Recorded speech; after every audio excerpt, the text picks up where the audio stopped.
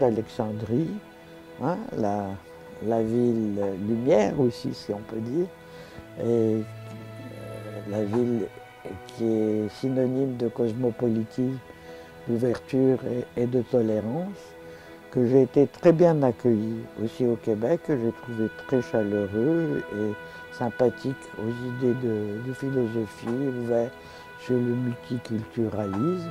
J'ai deux doctorats, un que j'ai fait en 79 avec Madame Rodis Lévis à Lyon 3. Et je suis dissectionniste à l'origine, puis ensuite euh, philosophe politique. C'était euh, le statut de la théorie des idées euh, de Platon à Malbranche avec la thèse accessoire sur Descartes et la thèse de Linnéisme. La seconde thèse, je l'ai faite quand je suis arrivé, je l'ai faite quand je suis arrivé à Montréal, parce que comme j'avais été vite dans mes études, le paradoxe faisait qu'avec le système alors en vigueur, je n'avais pas assez de points pour être payé en tant que titulaire d'un doctorat. Donc j'ai recommencé, mais de bon, de cœur. D'abord parce que j'étais jeune et ensuite que ça me faisait m'intégrer au milieu et de connaître mes futurs euh, collègues par la suite. Alors je l'ai faite à l'Université de Montréal et c'était sur le platonisme de Descartes. Euh, je n'ai pas beaucoup renouvelé ma première thèse, mais enfin, il y avait des parties assez inédites, parce que je ne me suis pas plagié moi-même tout de même. Et puis, bon, j'ai eu la chance d'être euh, euh, engagé au Cégep du Vieux-Montréal. Et j'aime beaucoup l'institution Cégep, qui est originale au Québec et qui euh, faisait côtoyer à travers euh, les trois cours communs et obligatoires, les trois genres de cours communs et obligatoires, le français, l'éducation physique et la philo. Au bout de dix ans, j'ai eu la chance euh, de concourir et d'entrer à, l'université à l'UCAM, où je suis encore, professeur émérite cette fois. Été assez vite directeur de département et euh, j'ai publié, j'ai beaucoup publié. C'était un milieu stimulant euh, où il y avait des conférences, des échanges avec euh, des conférenciers. Et je suis notamment très fier de l'édition que j'ai faite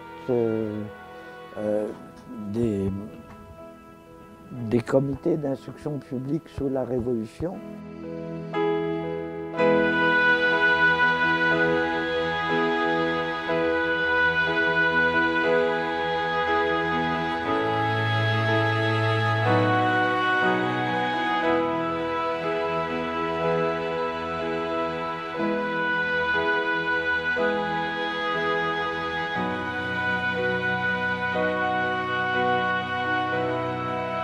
J'ai eu assez de, succès comme, professeur. Les évaluations étaient toujours très favorables. J'ai même eu un prix de l'enseignement de l'Université du Québec, où j'ai monté plusieurs colloques et, plusieurs par, an. Et j'ai eu beaucoup de stagiaires, une quarantaine de, de thèses de doctorat. Et en ce moment, j'ai deux stagiaires post-doc, dont un qui est encore coincé en Ouzbékistan.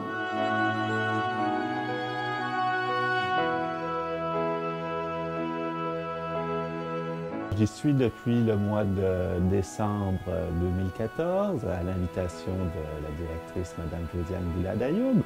Euh, alors ça s'est passé, en fin de compte, euh, on s'est rencontrés, enfin on se connaissait déjà, on s'est revus au courant d'une petite euh, activité sur le thème de la laïcité. Et c'est là que nous est venue l'idée d'entreprendre un projet un peu plus substantiel qui a vu le jour et qui est le projet de recherche et de formation sur la radicalisation, le fondamentalisme et l'islamophobie. Alors, ce qui nous a intéressé, c'est euh, de constater ces deux phénomènes plutôt contemporains et qui se développent en ce moment, et de s'interroger sur la façon dont ils exercent une pression sur notre démocratie contemporaine, et plus particulièrement sur ce que Mme Ayoub a appelé les idées forces de la démocratie, ce qu'elle a identifié comme tel dans ses travaux. Alors, autrement dit, pour résumer, la façon dont ces phénomènes euh, engagent des discussions, des remises en question de notre façon de concevoir la liberté, l'égalité et aussi la fraternité, ou ce qu'on entend comme étant le, ciment euh, de l'ensemble national, de la nation.